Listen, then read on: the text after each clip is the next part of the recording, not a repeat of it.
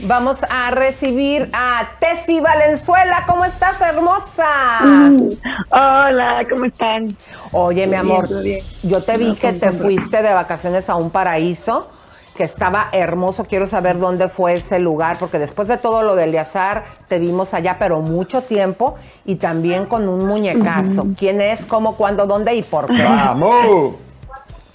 Bueno, eh, con el que era mi coach, que fue después mi novio, que él vive en Bali, de hecho él, me llevó para allá a hacer unas terapias, hacer hipnosis y así. Y, pues estuve tres meses fuera, como quien dice, curándome. Y pues ya volví, tuve la oportunidad de estar en Telemundo. Y pues ya era hora de volver. Así que ya, ya estoy con todo para trabajar de nuevo. Muy, eh, esa ya no estoy con él. ¿Ya no estás con él? Ah, pero bueno, nos vas a pasar luego dónde es el lugar, porque yo ahí me quiero ir de vacaciones. Comadres, un paraíso. A ver, mi amor, ¿estuviste feliz en, en esa casa de los famosos? Este, te nominaron. Eh, es difícil que en el principio de un programa la gente pueda conocer tu personalidad caíste en nominación y con dos hombres. Por lo general las mujeres somos las que somos más entusiastas en ver los programas, en votar. Yo siento como que ahí no te, no te favoreció que fuera el principio y pues saliste de la casa. ¿O tú qué y piensas? Encima te diré que, que la nominación, la primera fue al, habíamos entrado y no habían pasado dos días, creo, de, de haber llegado. Entonces, yo no me tomo esto como algo personal, porque sé que los que me nominaron ni me conocían, ni tenían un motivo, como ahora que ya se están armando las peleas de verdad. Y, pues nada, me tocó contra un chico que de verdad tiene como 13 millones de seguidores en una plataforma de gamers. Entonces, estaba difícil ganarle por votaciones. Pero pues ya por algo será. Igual estuvo buena la, la experiencia, lo que hicimos ahí dentro de la casa me quedé con ganas de seguir. Tefi, ponte tu cara y no muevas el teléfono porque nos mareamos, hermosa. Eh, Tefi, que está eh, medio, rara, ¿no? Ahora, eh, en la hoguera de las vanidades de Suelta, Suelta el Ego, ese programa donde quisieron hacer un análisis de tu participación, un hombre que lee el rosario y que se la pasa en las catedrales y en las iglesias rezando como un fariseo, el señor Lucho Borrego, del cual muy amigo Ninel Conde, ahora vamos a hablar de eso, eh, dijo una barbaridad.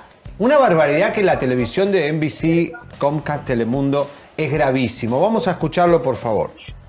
El hecho de haber, digamos, tenido esta disputa tan mediática que haber mandado a la cárcel a, a un joven actor mexicano, tu expareja, con las razones que tengas, ¿no crees que eso tuvo que ver con la votación del público en contra tuya? ¿Todavía crees que él es una víctima y que yo lo mandé a la cárcel o crees que él pagó por sus errores? No creo que, primero que todo, él no es una víctima, pero tú tampoco lo eres. Había una situación entre ustedes. Que yo no lo soy. O sea, te está, primero dice show mediático, como que todo esto fue un show mediático, no fueron golpes ni nada de eso. Y después... No, y es que lo peor que sigue, ni siquiera fue solo eso. Cuando, después al día siguiente siguió dando un live en sus redes, pero hablando y despotricando contra mí y esto yo siento como que, que ya, o sea, eso no es de ahora, siempre lo estuvo defendiendo, siempre estuvo poniendo en tela de juicio, ni aunque la corte diga una cosa, ni aunque hayan pruebas ni nada, él sigue y defiende y defiende y defiende. Y ya me parece el colmo, ¿no? Bueno, aquí dijo algo muy grave, Tefi, que no eres una víctima cuando tu caso nada más para recordarle al público que apenas lo está viendo, estaban todos los elementos para acusar a esta persona, dinos de qué, porque había video, había testigos. No, o como, no, aparte el juez se vinculó el caso por violencia familiar, víctima de violencia familiar. Yo sí, legalmente soy víctima de violencia familiar. Él no puede decir que yo no soy víctima. Perdón. Ahora, que yo no me victimizo, que no ando llorando por todos lados, que sigo con mi vida, eso no quiere decir que no haya sido víctima de. Pero él está libre gracias a vos, porque él podría estar en la cárcel. No, no, en realidad no gracias a mí. O sea, Fue acuérdate que se vendió el juez. Que, pero ella lo perdonó. Yo, yo nunca lo perdoné. No, no, no, De mi mano nunca salió un perdón. Pero ¿cómo? Porque está acuérdate, hay, hay, que dejar algo bien claro. Esto pudo haber sido un intento de privarte de tu vida. Eh, aquí la situación es que eh, había todos los elementos que es muy difícil que en un caso cuando una mujer es maltratada se tenga video porque te, te golpeó, te dejó eh, desnuda. Estaban testigos que eran los vecinos, estaban todo lo que te hizo físicamente. Médico legista, estaba Exactamente. todo, Y hay que recordar que tus propios abogados se vendieron porque cuando estabas eh, en, eh, por eso te digo que nunca lo perdonó, cuando estabas ante las autoridades. Fue muy raro que no lo vincularon con el, delito que tenía que hacer. Lo vincularon con un delito menor, así que no paga más de cinco años. Bueno, está en Televisa, imagínate qué podemos esperar. Claro, entonces ya aclarando... Y bueno, no sé, ya fue algo fuera de mis manos. Yo hice todo lo que pude, estuve ahí, fui a todos los, los juicios, los llamados, pero también ya ahí se me hizo algo muy raro. Pero bueno, él pagó, estuvo en cinco meses ahí metido y aceptó su culpabilidad, aceptó que los hechos fueron tal como yo los declaré. Entonces, ¿de dónde me parece grave que un periodista, va a venir a, decir algo así cuando él mismo ya aceptó su culpabilidad? Pero ¿por qué un periodista de la cadena Telemundo te pone a ti a la altura de alguien que fue juzgado por las autoridades mexicanas. Y es gravísimo lo que hace Borrego. Y te dice que no eres víctima, pero a mí me gustaría, Tefi, eh, yo le, tú tienes unos textos donde él hace... No, es que ¿sabes qué fue lo, raro? Te voy a contar por de dónde es lo que me parece. Entonces ese día que hicimos el enlace con Suelta la Sopa, eh, cuando él empezó a hablar de estas tonterías, por así decirlo, sus compañeros lo interrumpen y como que tratan de cambiarle. Y Juanma dijo, oye, oye, ella sí fue declarada, así fue, eso pasó. Juanma trata de defender, Aileen también trata de cambiar ya el tema, porque obviamente veían que, le estaba embarrándola. Y bueno, entonces colgamos, al parecer como, no sé si la producción le habrá dicho, y ya, ya metiste la pata. Y me mandó un mensaje, como riéndose de jajaja, qué buena réplica me diste, si estabas en el set me pegabas, algo así pero qué pena, me hubiera gustado que te quedes en la casa de los famosos. Entonces yo entendí, dije, bueno, quizás no es algo personal, quizás, no sé, ya me, es algo que, pues no sé, qué pasa. Le dije, mira, hace tiempo ya tengo ganas de decirte algunas cosas porque no es la primera vez que me ataca. Y pero ya habrá tiempo, le dije, ya en persona te, te diré las cosas que pienso decirte. No, me dijo su número todo bien por Instagram.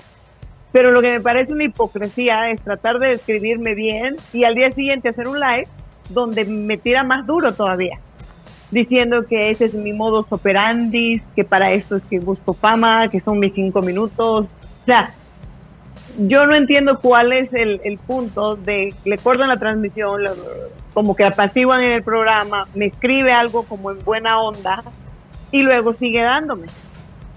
Entonces, para mí es como que, ¿qué pedo? O sea, no, no puede ser, o, estás en contra mía, o estás tratando de estar bien conmigo, o, qué opinas, no sé. Mira, Tefi, para tu consuelo, Borrego es lo más falso del mundo, porque nosotros tenemos aquí, él se la pasa defendiendo a Ninel Conde en este proceso, y nosotros tenemos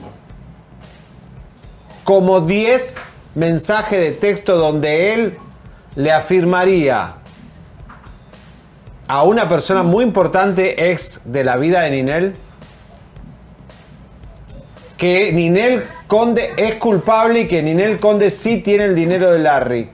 Así que Ninel, empezá a demandar a tu amigo, si vas a demandar, de suelta la sopa. No, pero es una persona totalmente no confiable. Pero claro que no es confiable. Pero totalmente, mira, ya que el, público eh, de Estados Unidos eh, le haya escuchado decirle a una víctima, porque lo que yo quería dejar bien claro, que pues hubo aquí interrupciones porque obviamente te tenemos que dejar hablar, señores, había todos los elementos para que se juzgara a esta persona, todas las pruebas. Y al final, como se manejó y todo, aquí en este programa se presentó en exclusiva las imágenes, eh, como el juez le dice que se tiene que ir, el propio juez y el abogado le dijo, si no aceptas esto, eh, que qué era mi querida eh, Tefi, yo en este momento. No, pues era, como, como, como, como que te hagan la, solución del, juicio. ¿Cómo se llama esto? Ahí esa se me fue la palabra.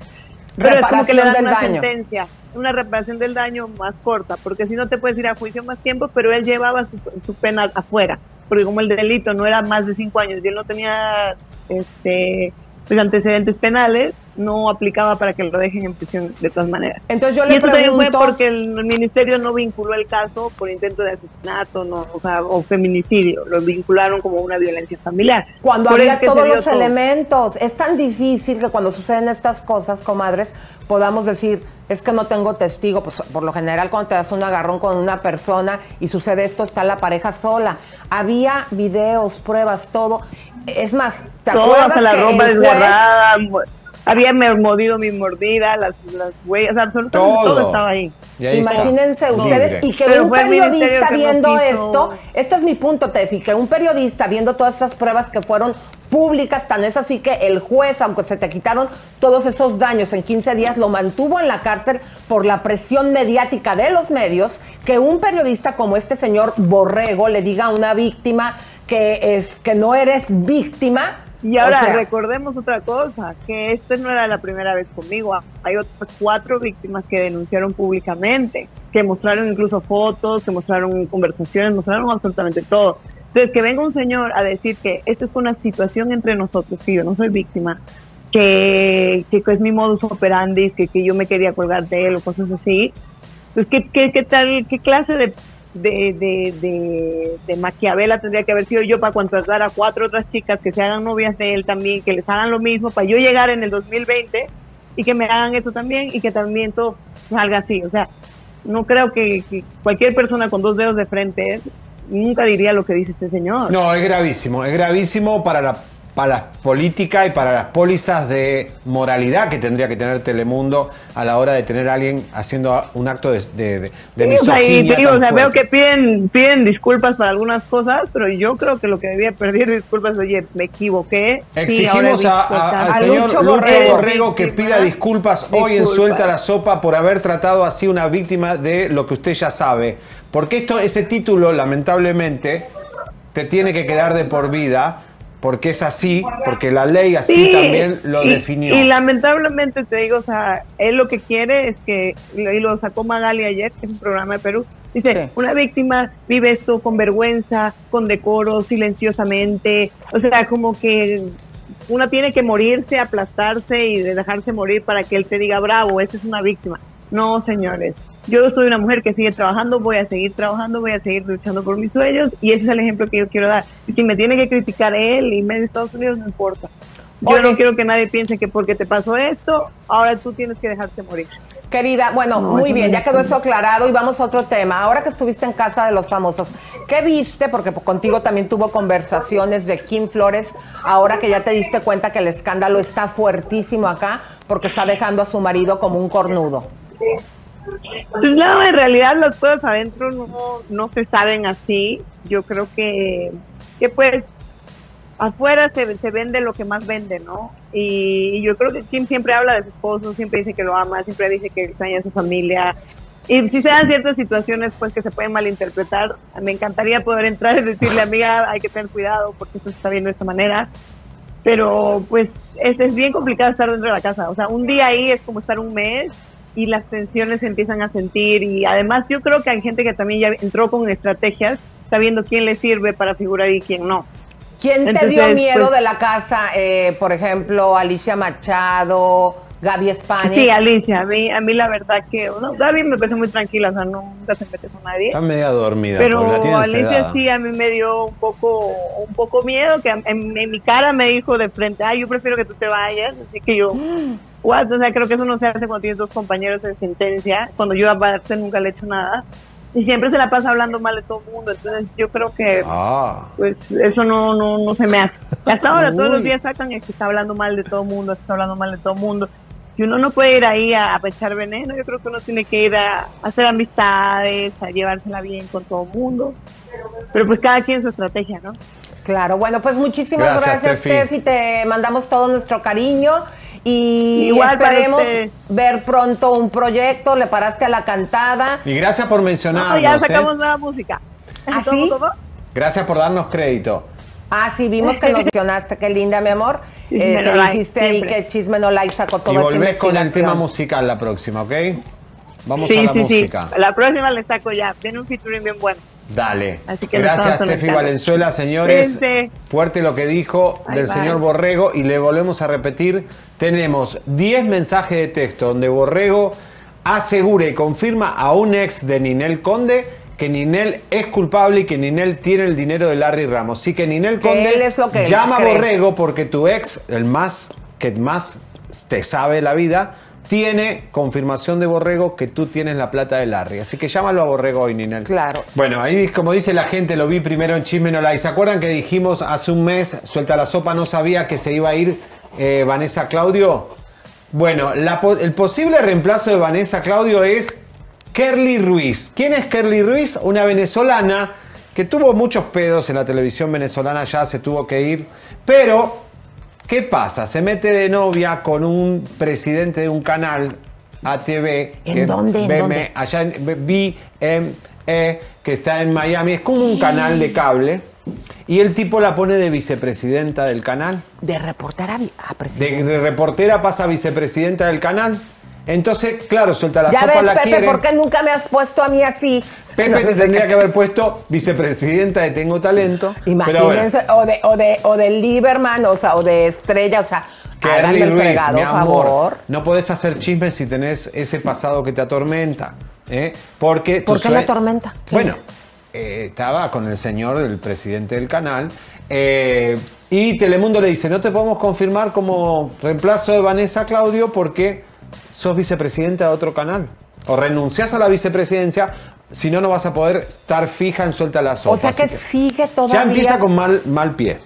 A ver, aquí este, uno de los chicos de cabina, no voy a decir sus nombres, porque eh, son ambos casados, pero dijo que en esa cola sí se forma con esta chica porque está muy guapa.